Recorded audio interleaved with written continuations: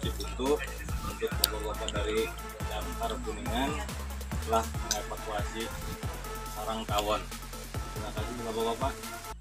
Assalamualaikum warahmatullahi wabarakatuh. Izin melaporkan proses eksekusi sarang tawon di Desa Duku Dalem di Dusun Duku RT 10 RW 2 tepatnya di rumah Ibu Nia.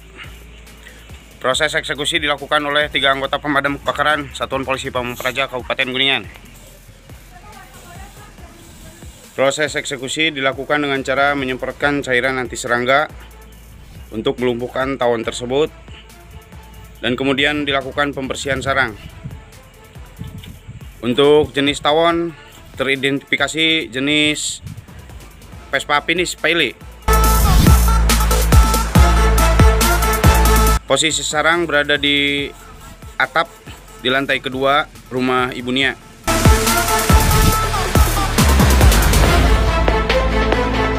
Untuk diameter sarang sekitar 40-an ya.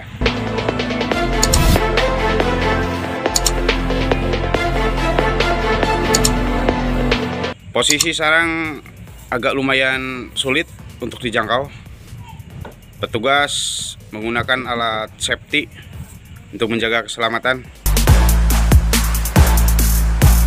Untuk harness tetap terikat Pele. Siap. Pak Iwan dampingi terus Pak Iwan, awasi. Untuk sementara sekian laporan dari TKP Desa Duku Dalam. Wassalamualaikum warahmatullahi wabarakatuh. Assalamualaikum warahmatullahi wabarakatuh. Selamat malam. Izin melaporkan proses eksekusi sarang tawon di Desa Sukaraja, Dusun Kliwon, RT 1 RW 1, tepatnya di rumah milik Bapak Am. Proses eksekusi dilakukan oleh tiga anggota pemadam kebakaran Satuan Polisi Pamong Praja Kabupaten Kuningan. Seperti yang dilihat, sarang berada di atap rumah. Untuk jenis tawon teridentifikasi jenis tawon Vespa api ini siapa Iwan? Untuk sementara sekian laporan dari TKP Desa Sukaraja. Assalamualaikum warahmatullahi wabarakatuh.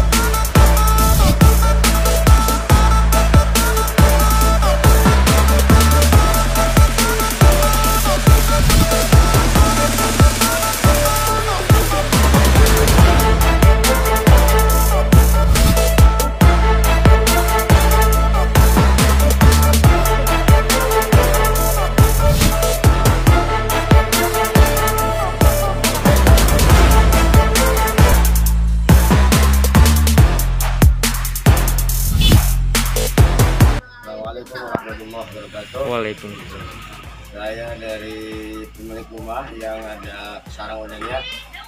Dengan ini mengaturkan banyak terima kasih yang sebesar-besarnya kepada tim damkar Kuningan ya yang telah berhasil mengamankan sarang wadah yang amat sangat berbahaya bagi anak-anak terutama. Itu kami keluarga mengaturkan banyak terima kasih semoga Allah membalas kebaikan semuanya. Dan sekian